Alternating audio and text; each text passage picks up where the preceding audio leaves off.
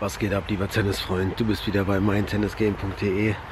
Mein Name ist Markus und im heutigen Video nehme ich dich auf einen äh, Trauerspaziergang mit. Ja, was heißt Trauer? Äh, Roger Federer ist zurückgetreten und äh, ich äh, ja, wollte einfach mal äh, das rauslassen, was in mir ist.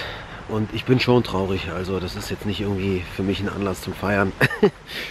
Wie wahrscheinlich für kaum jemanden.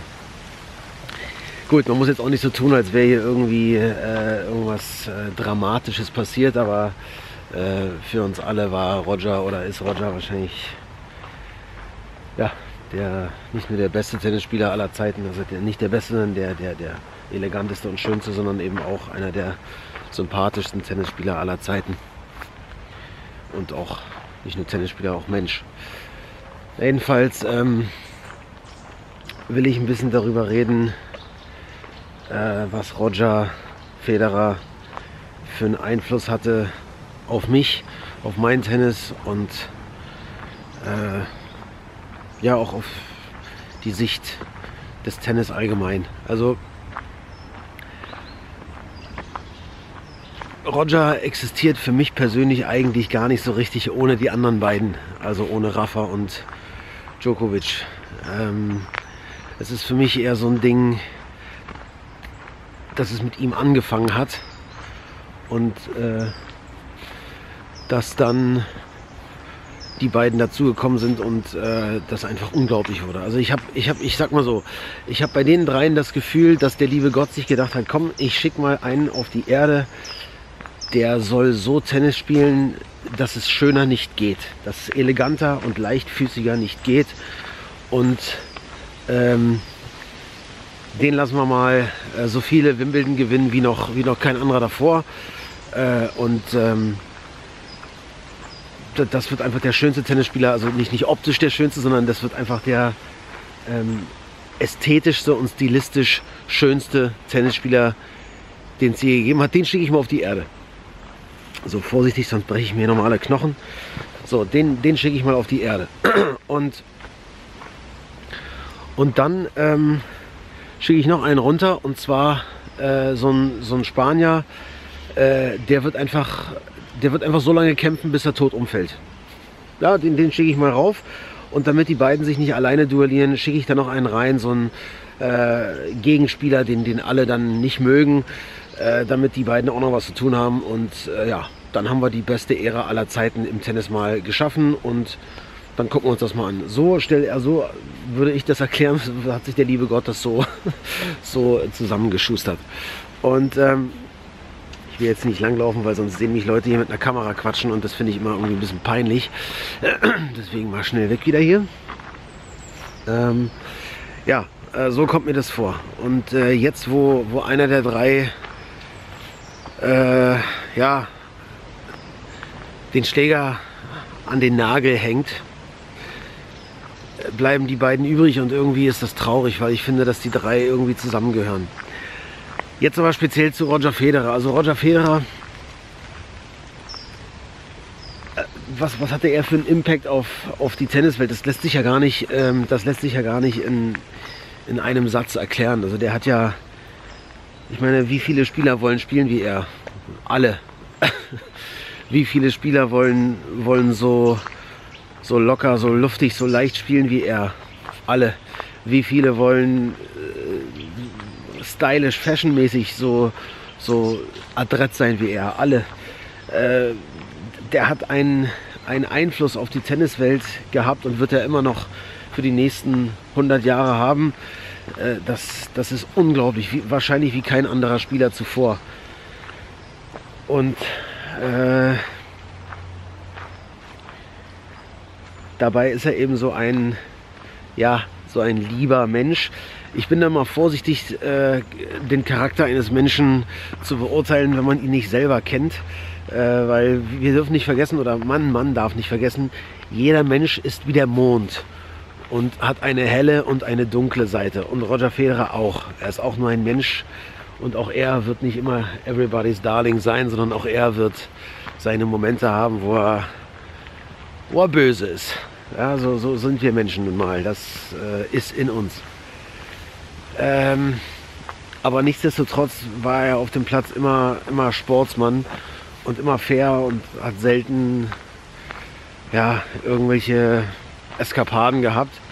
Und was mir am meisten eigentlich imponiert, und äh, das ähm, sieht man ja in der heutigen Zeit eher selten, das imponiert mir übrigens auch an den anderen beiden, bei den anderen beiden sehr, äh, dieses solide Leben, was er führt. Also solide im Sinne von, er hat jetzt nicht irgendwie jede Woche eine neue Frau, der, sondern der hat ein ganz, der führt eigentlich ein ganz solides Spießerleben. Also der hat eine Frau, zwei, äh, vier Kinder ähm, und hatte nicht irgendwie das Bedürfnis, äh, als Rockstar durch die Gegend zu machen, sondern äh, ja, das, das finde ich stark. Das finde ich wirklich stark, denn äh, die Möglichkeiten hätte er allemal gehabt. Ja, ähm,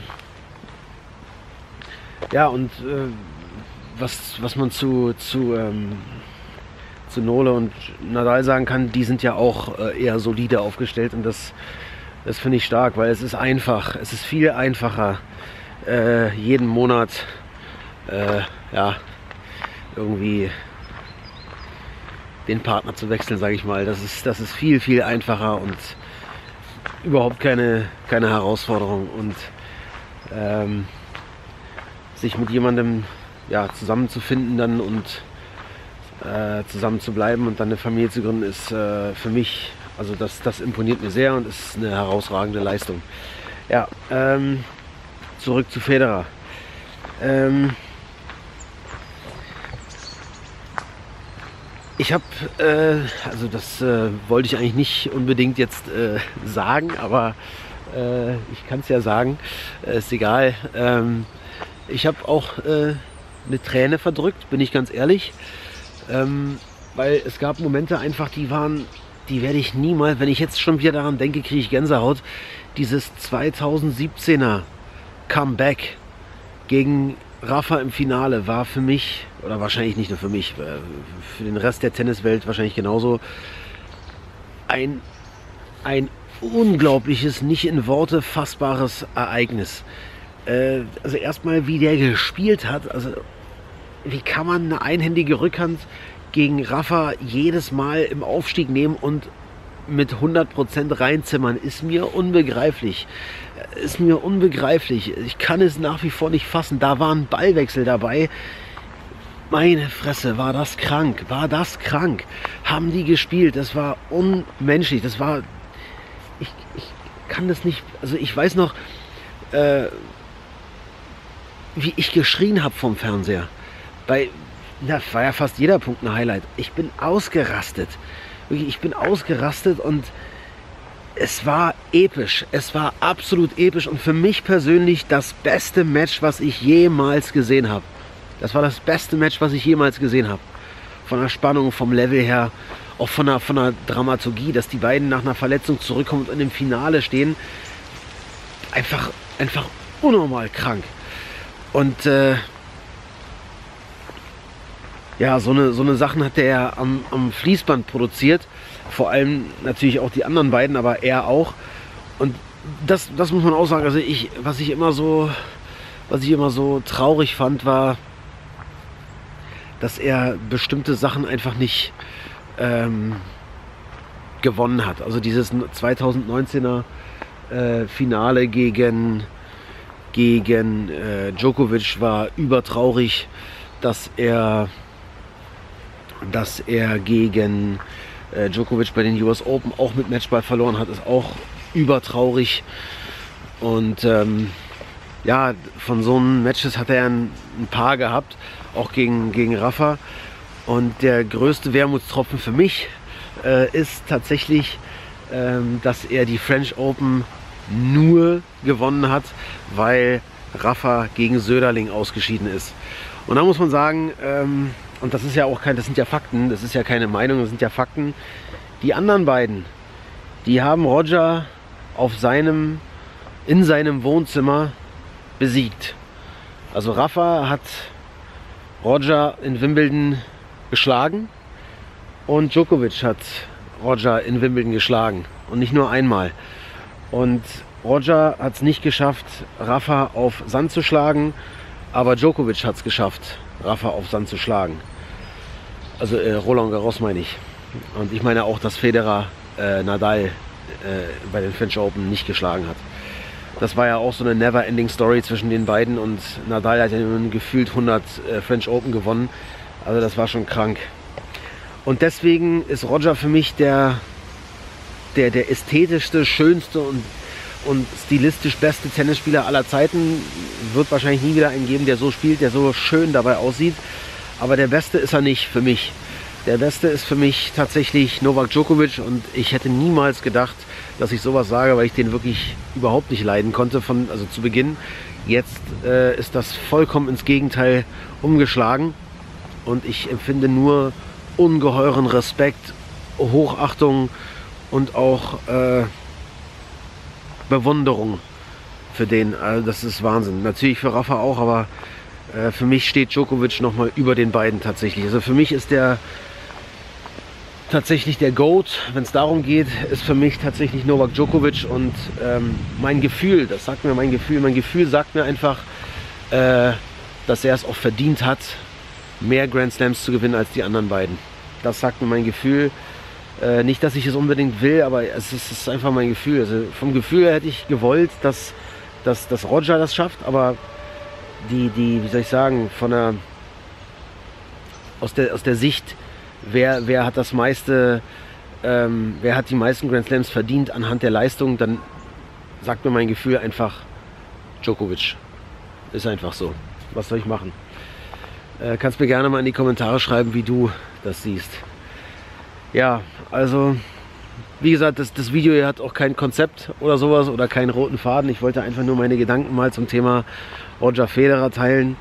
Es ist todestraurig, dass er jetzt äh, nicht mehr am Start ist und dass er dass wir ihn nicht mehr auf der Tour sehen werden. Ich gehe ganz stark davon aus, dass er trotzdem dem Tennis erhalten bleibt, weil er äh, ohne Tennis, glaube ich, nicht existieren kann. Und das, ist, das spricht auch für ihn. Ähm, ja, die Welt liebt ihn. Ich liebe ihn. und äh, ja, es ist, es ist ja mal schade, aber es ist so. Und das ist eben das Leben. Und äh, ich bin jetzt auch 40 und ich merke leider auch, wie der Körper nach und nach langsamer wird und vor sich hin zerfällt. Das ist extrem traurig und als, als Sportler, also gerade äh, wenn du jeden Tag äh, stundenlang Sport machst, habe ich ja auch gemacht, mein Leben lang. Und nicht nur Tennis, sondern eben alles, Beachvolleyball, Fußball, was weiß ich, alles mache, alles Wassersport, alles Mögliche. Und wenn du merkst, dass du anfangen musst, mit deinen Kräften zu haushalten, ist einfach, einfach upturn. Und wenn du merkst, wie der Körper nach und nach nachlässt, ist einfach richtig kacke. Ja, ähm, deswegen wird es vielleicht auch für mich Zeit, meine Karriere zu beenden. die, die ich nie hatte. Na gut, ja, das war's hier vom Video. Roger, Federer, ein großes Küsschen und alles Gute und wir sehen uns im nächsten Video. Ciao, ciao, Markus von meinem Tennis Game. Ciao.